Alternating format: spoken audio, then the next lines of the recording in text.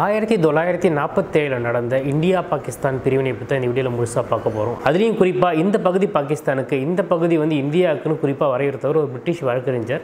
அவர் இதுக்கு முன்னாடி இந்தியாவுக்கு வந்ததே கிடையாது. இந்தியாவை இதுக்கு முன்னாடி பார்க்காத ஒருத்தர் எப்படி வந்து இந்த பகுதியில் பிரித்தார் அதனால் என்னென்ன மாதிரி பிரச்சனைகள் நடந்து எவ்வளோ பேர் கொல்லப்பட்டாங்க அப்படின்றத இந்த வீடியோவில் முழுசாக பார்க்க போகிறோம் பயணிப்போம் வாருங்கள். டிவி தமிழன் எஸ்கேவுடன்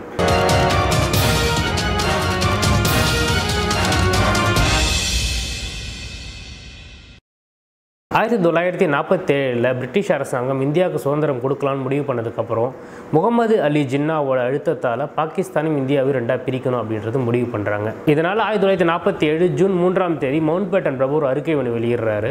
இந்தியா பாகிஸ்தான் ரெண்டு பகுதியை பிரிக்க போகிறோம் இந்து மக்கள் அதிகமாக வாழ்கிற பகுதி இந்தியாவும் பாகிஸ்தான் மக்கள் அதிகமாக வாழ்கிற பகுதி பாகிஸ்தான் ரெண்டாக பிரிக்க போகிறோம் இதனால் வந்து பஞ்சாப் மற்றும் வங்காள எல்லை பகுதிகளை பிரித்து இந்தியாவுக்கும் பாகிஸ்தானுக்கும் பகிர்ந்து கொடுக்க போகிறோம் இதுக்காக தனியாக ஒன்று கமிஷன் ஒன்று ரெடி பண்ண போகிறோம் இந்த கமிஷனில் மொத்தம் நான்கு நீதிபதிகள் இருப்பாங்க ரெண்டு பேர் வந்து முஸ்லீம் லீக் பிரதிநிதிகள் ரெண்டு பேர் வந்து காங்கிரஸ் பிரதிநிதிகள். இதனால் பிரிட்டிஷ் வழக்கறிஞரான ஜான் ரெட் கிளப்பை வந்து இந்தியாவுக்கு வர சொல்றாரு. இந்த ஜான் ரெட் கிளப் யாருன்னு பார்த்தீங்கன்னா பிரிட்டிஷ் வழக்கறிஞர் பிரிட்டிஷ் விசுவாசியும் கூட. இவர் இதுக்கு முன்னாடி இந்தியா வந்ததே கிடையாது. இந்தியாவில் என்னென்ன பகுதிகள் இருக்குது என்னென்ன பிரச்சனைகள் போயிட்டு இருக்கு எதுவுமே தெரியாது.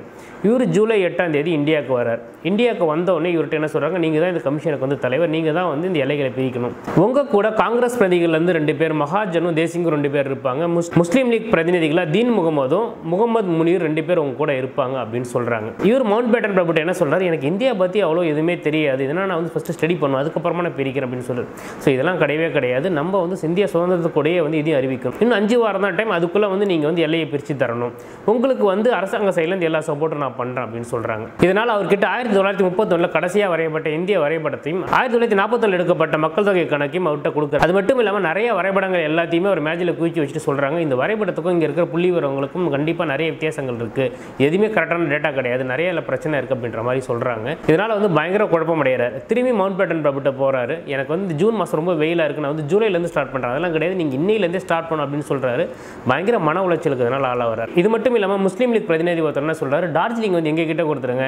நாங்கள் வருஷம் வருஷம் அங்கே தான் வந்து குடும்பத்தோட சுற்றுலாவுக்கு போவோம். அதனால் எங்கள் கிட்டே கொடுத்துருங்கன்னு சொன்னதால் இவர் வந்து கடுப்பாய் திட்டி விட்டுறாரு. இதனால் பயங்கர பிரச்சனைகள் வருது. இவர் வந்து இந்தியாவுக்கு சப்போர்ட் பண்ணுறாரு கண்டிப்பாக லாகூர் வந்து இந்தியாட்ட கொடுத்துருவாங்க அப்படின்ற மாதிரி நிறைய பிரச்சனைகள் வருது.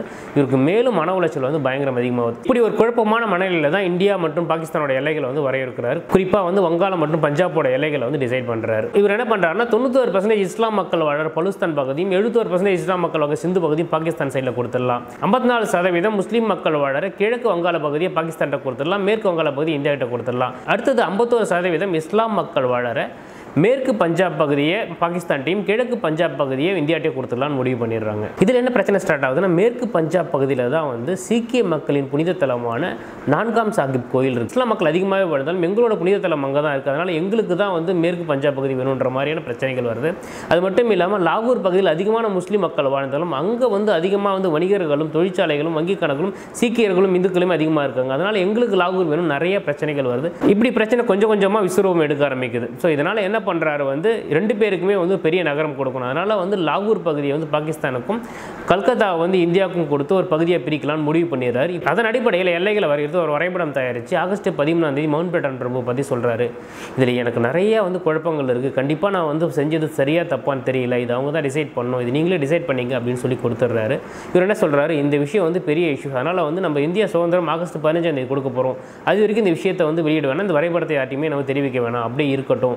நீங்கள் வந்து பிரிட்டிஷ் கிளம்புங்க அப்படின்ற மாதிரி சொல்கிறார் அதுக்கப்புறம் ஆகஸ்ட் பதினைந்தாம் தேதி இந்தியாவுக்கு சுதந்திரம் அறிவிக்கப்படுது. அதுக்கு மறுநாள் ஆகஸ்ட் பதினாறாம் தேதி மாலை ஐந்து மணிக்கு முஸ்லீம் லீக் பிரதிநிதிகளும் காங்கிரஸ் பிரதிநிதிகளும் கூட்டு இந்தியா பாகிஸ்தான் பிரிவினைக்கான வரைபடத்தை கொடுக்குறாங்க. இது பதினேழாம் தேதி காலில் தான் பொதுமக்களுக்கு தெரியுது. இந்த விஷயம் தெரிஞ்ச உடனே மக்களுக்குள்ள நிறைய கொந்தளிப்பும் கலவரமும் ஏற்படுது. அது மட்டும் இல்லாமல் உடனடியாக நீங்கள் அவங்கவுங்களோட ஊருக்கு கிளம்பி போகணும் அப்படின்ற மாதிரி சொல்கிறாங்க இதனால் ஒரே நாளில் பன்னெண்டு புள்ளி அஞ்சு மில்லியன் மக்கள் இடம்பெயர்த்துக்கான நிகழ்வு நடக்க ஆரம்பிச்சது நிறைய கலவரங்கள் ஏற்பட்டுச்சு. இதனால் வந்து நிறைய போலீஸார் நேரத்தில் குவிய ஆரம்பித்தாங்க இந்த கலவரத்தில் எழுபத்தி ரெண்டு மணி நேரத்தில் கிட்டத்தட்ட நாலாயிரம் மக்கள் இறந்தாங்க. பத்தாயிரத்துக்கு மேற்பட்ட மக்கள் வந்து காயமடைஞ்சாங்க.